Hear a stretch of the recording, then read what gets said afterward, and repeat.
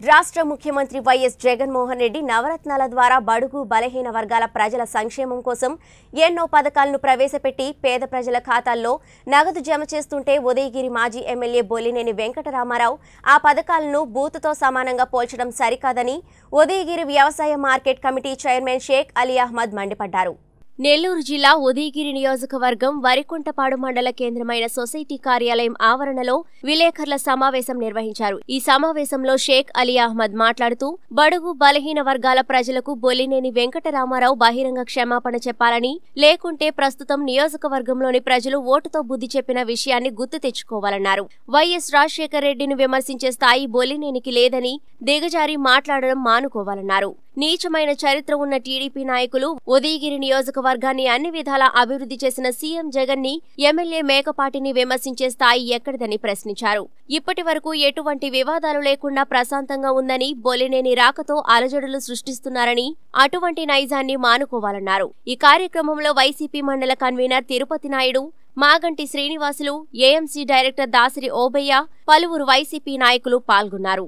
శ్రీ బొల్లినేని రామారావు గారు ఈ మండలాన్ని రైతు పరామర్శ యాత్ర అనేటువంటి ఒక పేరుతోటి వచ్చి ఇక్కడికి మరి వాళ్ళ పార్టీ కార్యకర్తలను పరామర్శించడానికి అయ్యా మీరు మాట్లాడినటువంటి విషయాలు ఎలా ఉన్నాయంటే అవి చాలా అసందర్భానుసారంగా మీరు మాట్లాడినటువంటి పదాలు మీరు ఉచ్చరించినటువంటి పదాలు ఏటున్నాయంటే మామూలుగా మీ యొక్క స్థాయిని కూడా దిగదార్చుకొని మాట్లాడేటువంటి విధంగా మాట్లాడారు.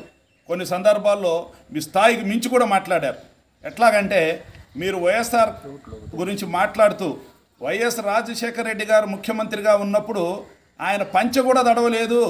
వర్షాలు పడితే మరి వాళ్ళేమో వానలు బాగా పడ్డాయి అని చెప్పి ప్రచారం చేసుకున్నారని చెప్పి మీరు నిన్న ప్రస్తావించడం జరిగింది.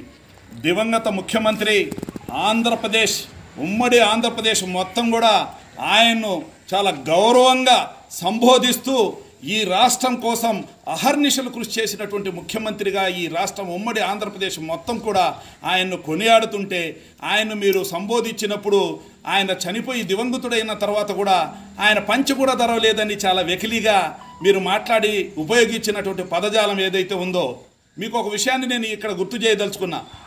చంద్రబాబు నాయుడు గారు ఎప్పుడైతే తొంభై నాలుగు నుంచి ముఖ్యమంత్రి అయిన తర్వాత ఎనిమిది సంవత్సరాల తొమ్మిది నెలల పదమూడు రోజులు ఆయన ముఖ్యమంత్రిగా ఉంటే ఆయన పరిపాలించిన పీరియడ్ మొత్తం కూడా కరువు కాటకాలతో ఈ రాష్ట్ర రైతులు అల్లాడిన విషయం మీరు మర్చిపోయారేమో కానీ ఈ రాష్ట్ర ప్రజలు మర్చిపోలేదు. మీరు అది గుర్తుపెట్టుకోవాల్సిన విషయం అని చెప్తున్నాం. అట్లాగే విభజన ఆంధ్రప్రదేశ్లో ముఖ్యమంత్రి అయిన తర్వాత రెండు వేల పద్నాలుగు నుంచి రెండు వేల పంతొమ్మిది ఉంటే ఈ రాష్ట్రం మొత్తం కూడా కరువు కలాటకాలతో అల్లాడిన తర్వాత మాత్రమే తర్వాత చంద్రబాబు నాయుడు ఇంటికి వెళ్తే కానీ ఈ రాష్ట్రానికి వానలు పడి ఈ రైతాంగం మొత్తం కూడా సుఖ సంతోషాలు రావేమని చెప్పి రైతాంగం కూడా వరుడు కోసం యాగాలు చేసి యజ్ఞాలు చేసి పూజలు చేసి మరి బాబును ఇంటికి పంపిస్తే కానీ మా పరిస్థితులు మాట్లా మారవని చెప్పి ఎదురు చూసినటువంటి పరిస్థితి ఈ రాష్ట్రం మొత్తం కూడా తేట తెల్లమే. మీరు కొత్తగా చెప్పాల్సిన పనేం లేదు. జగన్మోహన్ రెడ్డి గారు అధికారంలోకి వచ్చిన తర్వాత మరి రెండుసార్లు కూడా మరి నీళ్ళు పుష్కలంగా డ్యాములన్నీ నిండినాయి. అలాగే సోమశిల ప్రాజెక్టు ఈ జిల్లాలో ఉన్నటువంటి ఏకైక బౌలార్థక సాధక ప్రాజెక్ట్ అయినటువంటి సోమశిల కూడా ఉత్తరకాల ద్వారా కూడా వచ్చి ఈ నియోజకవర్గంలో పంటలు పుష్కలంగా పండిన విషయం రైతాంగం మొత్తానికి తెలిసినటువంటి విషయమని నేను చెప్తున్నాం. అట్లాగే మీరు మాట్లాడు చాలా జుగుప్సాకరంగా ఉన్నాయి. మీరేం చెప్పారంటే మేము రుణమాఫీకి నవరత్నాల పేరుతోటి మరి జగన్మోహన్ రెడ్డి అకౌంట్లలోకి డబ్బులు వేస్తున్నాడు. అదేం పెద్ద గొప్ప చర్య కాదు. ఆయన వేసిన డబ్బులు మొత్తం కూడా బొచ్చు. మా ఇరవై నాలుగు వేల రుణమాఫీతో సమానం కాదని చెప్పి మీరు మాట్లాడారు. మీరు ఖచ్చితంగా పేద ప్రజలంటే మీకు చులకన భావనతోటి ఎవరైతే డబ్బులు తీసుకుంటున్నారో ఎస్సీలు ఎస్టీలు మైనార్టీలు ఎవరైతే ఈ సంక్షేమ ఫలాలు అందరూ అనుభవిస్తున్నారో అలాగే ఓసీల్లోని కూడా క్రిమి లేయర్ కింద ఉన్నటువంటి వాళ్ళు ఎవరైతే ఈ సంక్షేమ పదాలు మరి అనుభవిస్తున్నారో వాళ్ళందరినీ కూడా చిన్న చూపు చూస్తూ మీరు ఉపయోగించినటువంటి ఆ బొచ్చు అనేటువంటి పదం చాలా జుగుచ్చాపరంగా హేయమైనటువంటి పదం అని చెప్తున్నాను. ఎందుకంటే మీకు బొచ్చు ఎక్కువైందన్న ఉద్దేశంతో మీ బొచ్చును కత్తరించి మీకు ఇంటికి సాగనంపారు. ఇంకా కూడా మీరు మారలేదనే దానికి అదే నిదర్శనం అని చెప్పి మీకు తెలియజేస్తున్నాం. మరి ఒక ఈరోజు చదువుకునేటువంటి పిల్లకాయలంతా బడికి వెళ్తూ అమ్మఒడి అనేటువంటి కార్యక్రమం కింద పదిహేను వేల రూపాయలు లబ్ధి పొందుతుంటే ఆ పదిహేను వేల రూపాయలు మీకు బొచ్చు కింద లెక్కైనాయా అని చెప్తున్నాం. మరి ముప్పై సెంట్లు ఉన్నా కానీ పది సెంట్లు ఉన్నా కానీ ఇరవై సెంట్లు ఉన్నటువంటి రైతులు ఏదైతే మరి రైతు భరోసా కింద డబ్బులు పొందుతున్నారో ఆ డబ్బులు తీసుకుంటున్నటువంటి వాళ్ళందరికీ కూడా తీసుకున్నటువంటి రైతులందరూ మీ బొచ్చుతో సమానమా అని చెప్పి అడుగుతున్నాం.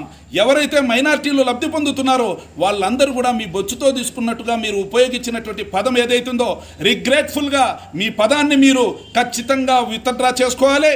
మీరు మహిళల పట్ల పేదల పట్ల మరి బడుగు బలహీన వర్గాల పట్ల మీరు మాట్లాడినటువంటి ఉపయోగించినటువంటి పదజాలం ఏదైతే ఉందో చాలా గర్హనీయమైనటువంటి విషయం అని చెప్పి మీకు తెలియజేస్తున్నాం. అంతేకాదు ఇంకొక అంతేకాకుండా ఇంకొక విషయం చెప్పారు. ఈరోజు రాష్ట్ర వ్యాప్తంగా కూడా చాలా అరాచకమైనటువంటి పరిపాలన సాగిస్తున్నాడు జగన్మోహన్ రెడ్డి అని చెప్పి మీరు ఉపయోగించిన చెప్పి రైతుల్ని మోసం చేసి పసుపు కుంభకోణాలు చేసిన చరిత్ర మాది కాదని చెప్పి మీకు తెలియపరుస్తున్నాం. అంతేకాదు మీ హయాంలో పసుపు కుంభకోణం జరిగింది. మరి మా హయాంలో వచ్చిన తర్వాత పసుపు కొనుగోలు చేస్తే ఏ ఒక్క రైతు కూడా నష్టపోకుండా మూడు కోట్ల రూపాయలు వాళ్ళ అకౌంట్లలో వేపించాం ఎక్కడే కానీ అవినీతి మరక మా మీద పడలేదని చెప్పి మీకు తెలియజేస్తున్నాం. అట్లాగే ఇప్పుడు ఎవరైతే రైతులు పంట సాగు చేశారో ఏ ఒక్క ఎకరా కూడా సాగు చేసినటువంటి రైతుకి నష్టపోకుండా నష్టపరిహారం చెల్లించే విధంగా ప్రతి చోట రైతు భరోసా కేంద్రాల ద్వారా ఆల్రెడీ చర్యలు చేపట్టడం జరిగింది. వచ్చే నెల ముప్పై తారీఖున వాళ్ళ అకౌంట్లలో డబ్బులు వేయటం తథ్యమని చెప్పి తెలియపరుస్తున్నాం.